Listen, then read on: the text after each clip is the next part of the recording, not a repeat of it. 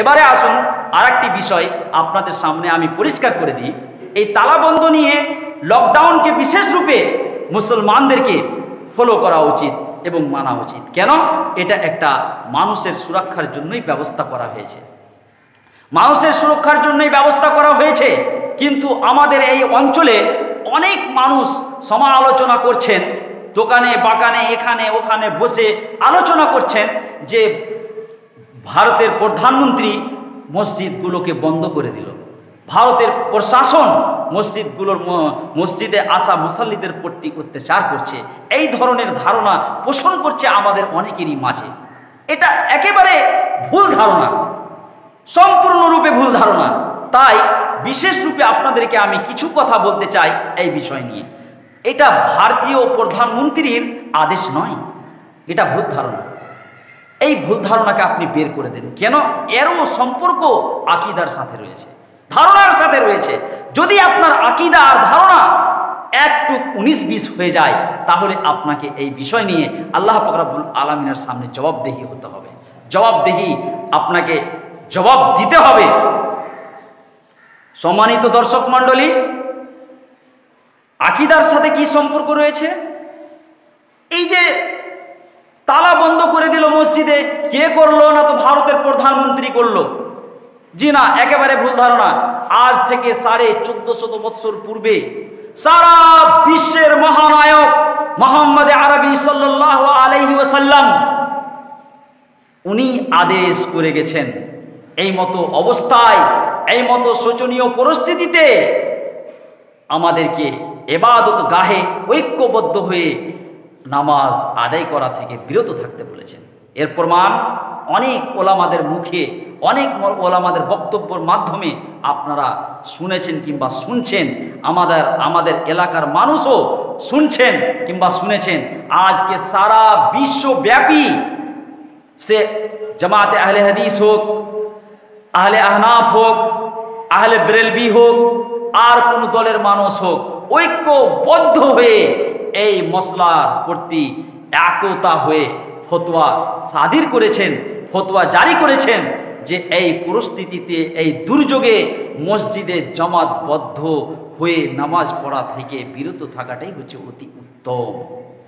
আসুন এই বিষয়ে আমরা দেখি যে রসুল সাল্লাহ আলাইহি ওয়াসাল্লাম কি আদেশ করেছেন সাড়ে চোদ্দশো বৎসর পূর্বে।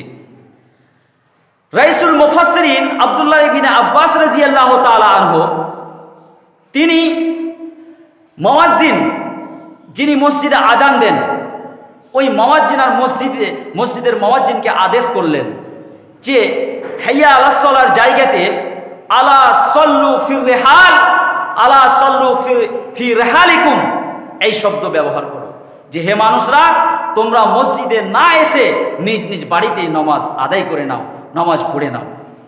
আমি ওই সব ভাইদেরকে বলতে চাই, যেসব ভাইদের মধ্যে এই ধারণা পোষণ করছে, যেসব ভাইরা এই ধারণায় লিপ্ত হয়ে রয়েছে যে এই মসজিদকে ভারতের প্রধানমন্ত্রী বন্ধ করে দিল, তাদেরকে বিশেষ রূপে বলতে চাই যে আলা সল্লুফির রেহাল শব্দের অর্থ কি?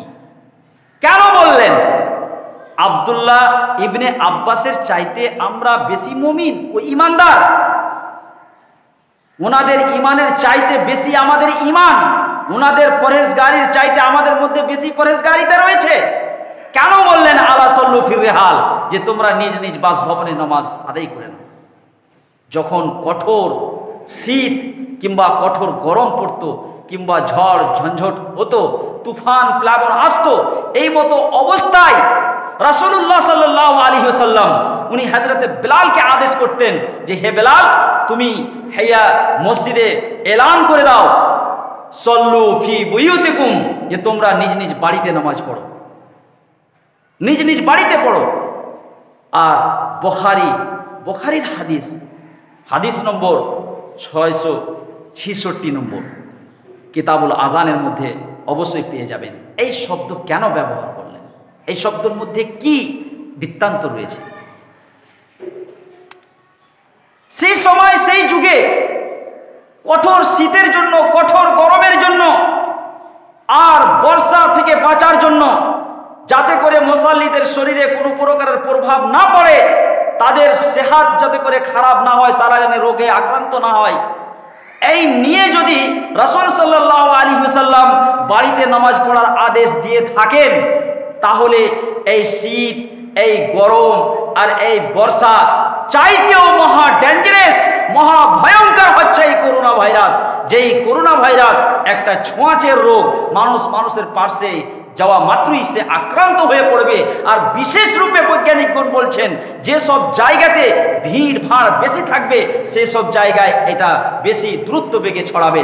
আর এই মসজিদে আমরা একত্রিত হয়ে, নমাজের মধ্যে মধ্যে একত্রিত হয়ে আমাদের মধ্যে বেশি ছড়াবার ভয় থাকতে পারে। তাহলে এই মারাত্মক ব্যাধি থেকে মুক্ত থাকার জন্য, এই মারাত্মক ব্যাধিকে কম করার জন্য শীতকাল, শীত ও গরম ও বৃষ্টিকে কেন্দ্র করে রসুল সাল্লাহ আলি সাল্লাম বাড়িতে নামাজ পড়ার আদেশ দিয়েছেন। তাহলে এই করোনা ভাইরাসকে কেন্দ্র করে কেন আমরা বাড়িতে নামাজ পড়ব না? কেন আমাদের বাড়িতে নামাজ পড়া হবে না? সম্মানিত দর্শক মণ্ডলী তাই আপনাদেরকে বলি, এটা কোনো সরকারের, এটা কোনো মানুষের পদ্ধতি নয়, এটা কোনো মানুষের নিয়ম নীতি নয়, এটা আমাদের শরীয়তের নিয়ম। এটা আমাদের শরীয়তের কানুন, এটা আমাদের শরীয়তের নিয়ম, যে নিয়মটিকে ফলো করা এবং মেনে চলা আমাদের কর্তব্য ও দায়িত্ব। কি আছে? আলহামদুলিল্লাহ, আপনার মধ্যে নামাজ পড়ার জজবা রয়েছে, জোশ রয়েছে। আপনি চাইছেন যে আমি নামাজ কোনো জমাতবদ্ধ হয়ে পড়ব। জমাতবদ্ধ হয়ে নামাজ পড়ার ফজিলত অনেক রয়েছে। আলহামদুলিল্লাহ, এই জজবা আপনার মধ্যে থাকা উচিত। কিন্তু সময়কে কেন্দ্র করে, পরিস্থিতিকে কেন্দ্র করে যদি আপনি কিছুদিন বাড়িতেই নামাজ পড়েন, তাহলে অসুবিধা কি রয়েছে? আপনাকে যদি কেউ বলে যে, এই জায়গা থেকে ওই জায়গায় যাওয়ার জন্য আপনাকে প্রতিদিন আমি তিনশো টাকা দিব। মনে করুন যে আপনি মনিরামপুর গ্রামে বাস করছেন। কেউ যদি বলে যে শুধুমাত্র মনিরামপুর থেকে পাকুড় যাওয়ার জন্য আপনাকে তিন শত টাকা দিব প্রতিদিন, তাহলে আপনি যাবেন আর পাকুড় যেয়ে তিন শত টাকা নেবেন। আর ওই বাক্যটি যদি উনি বলেন যে আপনাকে কোনো জায়গায় যেতে হবে না, বাড়িতেই থাকুন, বাড়িতে থাকলেই আপনাকে তিন শত টাকা দিব, তাহলে কি আপনি পাকুড় যাবেন? বলুন তো দেখি। অবশ্যই আপনি যাবেন না। কেন? যে মূল্যটা পাওয়া উচিত, সে মূল্যটা তো বাড়িতে বসে থেকেই পাচ্ছেন। অনুরূপ, যদি আপনি জমাটবদ্ধ হয়ে নামাজ পড়ে যে নেকি, যে মর্যাদা, যে ফজিলতটা পাবেন, সেই নেকি বাড়িতে বসে বসে নামাজ পড়েই আপনি পাবেন। তাহলে আপনাকে ভিড়ে আসার কি প্রয়োজন রয়েছে? শুধু এই পরিস্থিতিকে কেন্দ্র করে। ইনশাল্লাহ যখন এই মহামারী দূর হয়ে যাবে, এই করোনা ভাইরাসের মহামারী শেষ হয়ে যাবে, আবার আপনারা পুনরায় মসজিদে এসে জমাতবদ্ধ হয়ে নামাজ পড়ুন। আবার আপনারা নামাজ যোগ দিয়ে আপনারা আসুন এবং মসজিদে নামাজ কায়েম করুন। আল্লাহ ফকরাবুল আলামিন এই ইসলাম ধর্ম এত কঠোর নয়, ইসলাম ধর্ম এত শক্ত নয় যে মানুষের প্রাণকে, মানুষের জানকে হেলাকের উপরে ফেলে, ক্ষতিগ্রস্তর মধ্যে রেখে আল্লাহ আপনার কাছ থেকে উপাসনার দাবি করবেন। ইসলাম ধর্ম এত কঠোর ধর্ম নয়। ইসলাম ধর্ম একটি সহজ ধর্ম। যাতে প্রত্যেকটা মানবতার রক্ষার একটা অত্যন্ত মূল্যবান মর্যাদা রয়েছে। এই ইসলাম, যে ইসলামে প্রত্যেকটি সমস্যার সমাধান রয়েছে, তাই আমার প্রিয় দর্শক মণ্ডলী, আপনাদেরকে আমি নম্র নিবেদন করি, আর কয়েকটি দিন আপনারা সহ্য, ধৈর্য ধারণ করে আল্লাহ পাকরাব্বুল আমিনের নিকটে নিজ নিজ বাস ভবনে থেকে প্রার্থনা করুন। নামাজের মাধ্যম দিয়ে এককইভাবে আল্লাহ পাকরাব্বুল আলমিনের কাছে কাঁদা কাটা করুন এবং আল্লাহ পাকরাব্বুল আলমিনের কাছে চায়, চাওয়ার চেষ্টা করুন যে হে আল্লাহ, তুমি যে এই মহামারী দিয়েছ, এটা তোমাদেরই, তোমারই দান। তুমি চাইলে একে দূর করতে পারবে, তুমি চাইলে একে বিস্তারিত করতে পারবে। তাই তুমি এই মহামারীকে শেষ করে দাও। এই মহামারী থেকে আমাদেরকে রক্ষা করো। এই করোনা ভাইরাসের মতো একটা ব্যাধিকে হে আল্লাহ, তুমি একে শেষ করে দাও। এই দোয়া, এই প্রার্থনা আপনি বাসভবন থেকে করুন। আল্লাহ পাকরাবুল আলমিনের কাছে এই প্রার্থনা করুন যে, হে আল্লাহ, এই ব্যাধি থেকে আমাদের সকলকে তুমি সুরক্ষিত রাখো। হে আল্লাহ, তুমি আমাদেরকে এই ব্যাধি থেকে অনেক দূরে রাখো। হে আল্লাহ, এই ব্যাধিকে আমাদের হেদায়েতের পথ বানিয়ে দাও। আমাদের জন্য উপদেশ বানিয়ে দাও, আমাদের জন্য একটা নিদর্শন তৈরি করে দাও হে আল্লাহ, যাতে করে এই ব্যাধিকে কেন্দ্র করে আমাদের ইমান ও আমলে সংশোধন হয়ে যায়, এই আশা নিয়ে আল্লাহ পাকরাবুল আলমিনের নিকটে প্রার্থনা করুন।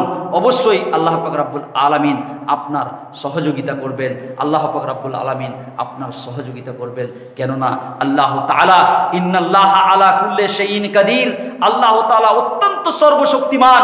সেই মহান আল্লাহ যিনি রাত্রের অন্ধকারে কালো পাথরের উপরে যে পিপিলিকা চলাচল করে, তার পায়ের আওয়াজও উনি শ্রবণ করেন।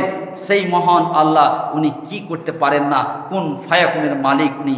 এই সমস্ত ওনার উপরে বিশ্বাস, ভরসা রেখে আপনারা প্রার্থনা করুন। ইনশাআল্লাহ এই সমস্যার সমাধান অত্যন্ত অতি সত্তর হয়ে যাবে ইনশাআল্লাহ। এবং আজকের যাবতীয় সন্দেশ আমাদের মাঝে ঘোরাঘুরি করছে। সে দিয়াবাতি জ্বালার রূপে হোক, থালি ও তালি বাজার রূপে হোক, এইসবকে আমাদেরকে বর্জন করতে হবে। আর এইসব থেকে আমাদেরকে বিরত থাকতে হবে। নিজের ইমান ও আকিদাকে বাঁচিয়ে রাখতে হবে। এটা একটা অত্যন্ত বর্বর কাজ ইসলামে। এটা একটা অবৈধ কাজ। এই কাজে আপনার ইমান আমলকে ধ্বংস করে ফেলবে। তাই আমার মুসলিম সম্প্রদায়, ভাই ও বোনদের কাছে নম্রভাবে আমি আবেদন করি যে আজকের রাত্রি নটার সময় দেশের প্রধানমন্ত্রী যে সন্দেশ দিয়ে আবেদন করেছেন, এই সন্দেশ থেকে অনেক দূরে থাকবেন এবং সেই এক আল্লাহর কাছে মাথা নত করে প্রার্থনা করবেন যে, হে আল্লাহ, তুমি আমাদের সকল মানব জাতির সুরক্ষিত করো, সকল মানব জাতিকে মাহফুজ ও সালামত করো। এই বলে আজকের বক্তব্য আমি ইতি করলাম। ও আখর দাওনা আনিল হামদুলিল্লাহ রব্বুল আলমিন। প্রিয় দর্শক মণ্ডলী, আপনারা দেখছেন তামান্না টিভি আমাদের এই তামান্না টিভিতে জুড়িয়ে থাকুন এবং বর্তমান পরিস্থিতিকে কেন্দ্র করে নতুন নতুন ভিডিও আপনাদের সামনে আসতে থাকবে। বিভিন্ন ওলামা একরাম দের বক্তব্য আপনারা এই চ্যানেলের মধ্যে পেতে থাকবেন। সহি আকিদা, কিতাবুল্লাহ ওসুন্নাতে রসুলের আলোকে আপনাদের সামনে এই চ্যানেলের মাধ্যমে আসতে থাকবে, তাই আপনারা এটি জুড়িয়ে থাকুন। আসসালামু আলাইকুম রহমতুল্লাহ ওবরকাত